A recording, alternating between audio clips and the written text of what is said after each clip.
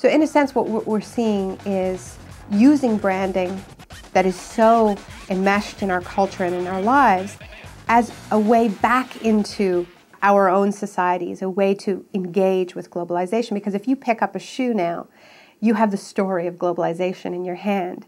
You have leather that was maybe produced in Argentina, shipped to, to the Philippines, produced by a Korean subcontractor that went through a Hong Kong broker that was dealing with a company in Oregon.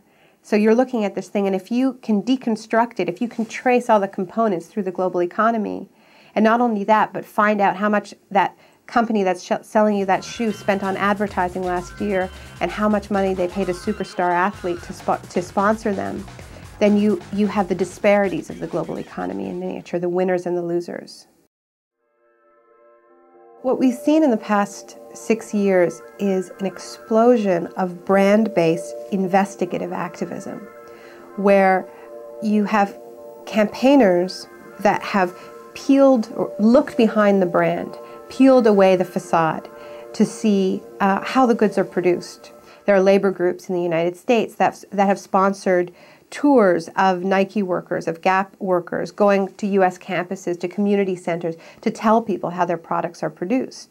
And of course, this is very uncomfortable for these companies because even though they are the engines of globalization, they don't really believe in globalization, not this kind of globalization, right? I mean, their whole system depends on the world of production and the world of consumption staying safely apart, and there not being this connection at the grassroots where we learn the secrets behind our shiny, perfect, airbrushed global world. So now these brands have become uh, in many ways, the most visible targets of globalization. So much so that whenever you see a protest, during a protest, there'll be a line of riot cops guarding the Starbucks, guarding the Gap, guarding the McDonald's. And this strikes me as tremendously symbolic somehow, that they're, they're guarding the facade, the entry point into the world of globalization. And what this activism is doing is it's putting them together. And it's going to the shiny facade of the brand outside the mall, outside the superstore, and saying, We know how your products are produced. That's what these campaigns do. They make globalization real. They say it's about the food that you eat, it's about the clothes that you wear, it's about the toys you buy your kids.